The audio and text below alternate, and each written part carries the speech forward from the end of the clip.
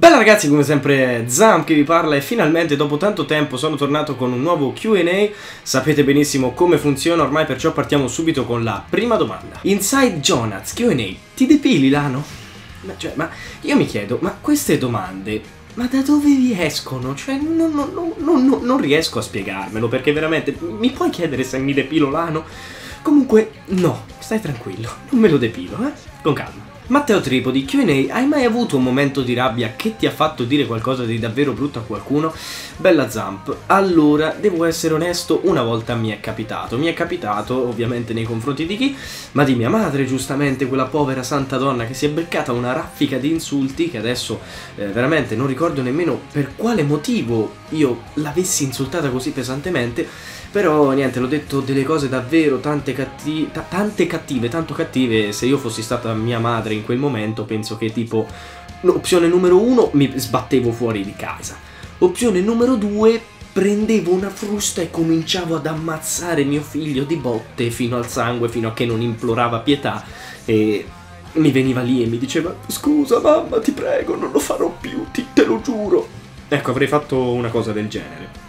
Luca Carlesso, voi youtuber, te, Gabbo, Johnny, Ron e gli altri, sapete di essere una sorta di modello per alcuni giovani italiani? Bella zampa. Allora sì, purtroppo, eh, diciamo, ultimamente c'è un trend sempre più in crescita che appunto considera noi youtubers come dei modelli di persone da seguire. Questa è una cosa che onestamente a me non è mai piaciuta perché non mi piace essere preso a modello in quanto sono una persona che ha tantissimi difetti, poi magari ho anche qualche qualità però eh, se mi seguite non solo su YouTube ma anche su altri social vedete che sono una persona appunto piena di difetti e quindi eh, non vorrei che voi seguiste ogni mia singola azione. Cioè, per carità, se faccio cose belle, magari prendetele anche a modello perché ne sono contento, sarò servito a qualcosa nella vostra vita.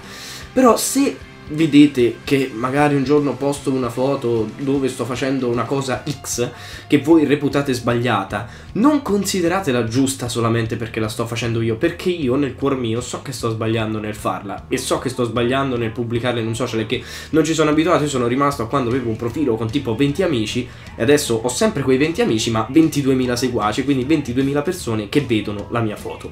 Ecco, a questo ancora non mi ci sono abituato, però voi appunto sappiate sempre discernere tra quello che è giusto e quello che è sbagliato, perché io non so Gesù Cristo. Quindi sbaglio come tutte le persone, voi stiate solo attenti appunto a non cadere in errore solamente per seguire noi youtubers, che non siamo divinità appunto. Alessio Cappelli, Q&A da piccolo, hai mai rotto qualcosa di costoso? E qual è stata la reazione dei tuoi genitori? Bella Zamp sei un grande, allora oggi siamo sempre in tema familiare, sì, mi è capitato di distruggere qualcosa eh, da piccolo, eh, la prima che ricordo era un vaso che credo fosse costato una fortuna a mia madre e io, oh, raga, era una peste da piccolo, cioè giravo per casa, correvo come una bestia e, e, e cos'è successo? Rincorrevo tipo mia sorella che quella stronza veramente mi ha spinto. Io finisco contro il mobile, l'armadio sopra il quale era posto appunto questo vaso. Lo vedo, cioè la scena immaginatevela al rallentatore. Io così, prima guardo mia sorella e faccio No, che cazzo hai fatto? Poi mi giro, c'è il vaso sul mobile che comincia a fare uh, uh, uh, e poi all'improvviso, bam, mille pezzi si sente l'urlo di mia madre dall'altra stanza che già l'aveva capito. Andrea! Che hai rotto? Che hai fatto? È venuta lì tipo il vaso distrutto e sono scappato. Sono scappato perché penso che se quel giorno io non fossi fuggito tipo a nascondermi sotto il letto, non ricordo esattamente dove fossi andato ad imboscarmi, ma penso che se quel giorno io non avessi compiuto quell'azione eh, non sarei qui a registrare questo video adesso. Ehm, sì, credo proprio che sarebbe andata così. Mirko pensato, Q&A, hai fatto o pensi di fare una vacanza in Sicilia? Sì, devo essere onesto, ci sono stato parecchie volte in Sicilia grazie ai miei genitori perché d'estate eh, ci è sempre piaciuto molto viaggiare, diciamo che grazie a loro praticamente mi sono girato tutta Italia vedendo le più belle opere d'arte e altro perché appunto anche loro sono grandi appassionati di cultura. E appunto mi è capitato di andare in Sicilia, ricordo Siracusa per esempio, dove, ecco, eh, volevo dirvelo da tanto tempo, tornerò eh, perché ci andremo in gita di quarto superiore appunto, andremo a Siracusa con tutte le quarte sezioni del nostro istituto, del liceo classico, andremo gli ultimi giorni di maggio e visiteremo tipo il teatro greco, quei posti lì, poi penso che avremo anche tempo libero in giro per Siracusa, quindi se siete del posto eh, magari avrete la fortuna, la fortuna, eh, sì la fortuna perché magari diciamo non sarà semplice trovarmi, però magari potreste appunto incontrarmi mentre sto andando in giro a fare shopping per Siracusa, quindi niente sarò lì e spero di incontrare magari anche qualcuno di voi, comunque sia voi seguitemi sulla pagina Facebook dove sarete sempre aggiornati su tutto quello che farò, scriverò anche quante volte sto cagando e quindi non avrete problemi, ecco.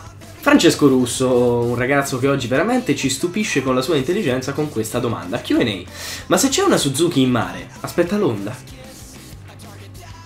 Boh, io veramente, come per quello di prima che mi disse, che mi chiese se mi depilassi l'ano, ma cioè io dico, una battuta così brutta ed infelice penso non farebbe ridere nemmeno un malato terminale, anzi forse un malato terminale sì, senza offesa per loro, perché cioè, stanno per crepà e quindi farebbe ridere anche se io dicessi Oh guarda, sono stato al McDonald's, ho preso questa Coca-Cola, era veramente buona eh. James Rosa, ti stai facendo crescere la barba? Grande zampa, allora vi prego, non prendetemi per il culo sulla barba. Allora, eh, ho 17 anni e quando c'è gente che già a 16 ha un barbone della Madonna, io a 17 l'unica barba che ho ce l'ho qui e qua sotto.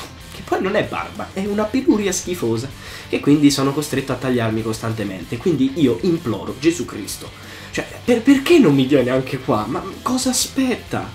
Tra un po' finisco di crescere, se non ho già smesso, vuol dire che non avrò la barba a vita. Giorgia Sabatini mi fa una domanda che potrei eh, veramente rispondere con migliaia di parole, ma tenterò di sintetizzare. Q&A. Perché da quando è iniziato il nuovo anno, Nintendo 2014, fai sempre meno video? Perché prima, Nintendo 2012-2013, ne facevi tipo uno al giorno e poi adesso non ne metti più, non metti più nemmeno l'intro? PS resti comunque un grande. Allora, grazie mille per il discorso dell'intro, comunque non la mettevo più, semplicemente perché mi aveva stancato e non ho nessun altro che me ne faccia una decente.